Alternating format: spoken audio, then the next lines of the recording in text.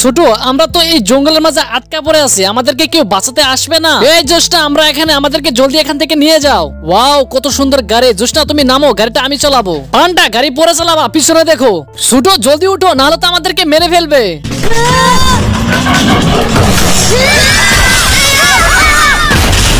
আজকে কোথায় যাবি তোরা? তোদের তিন ডেকে আজকে একসাথে পেয়েছি। আরে, আমরা এখন কীভাবে বাঁচবো? পান্ডা, ওই দেখো, জাতীয় শক্তি, জলদি করে শক্তি বাড়াও। বন্ধুরা, শয়তানটাকে এখন মজা দেখাবো। আপনারা লাইক সাবস্ক্রাইব করে যাবেন।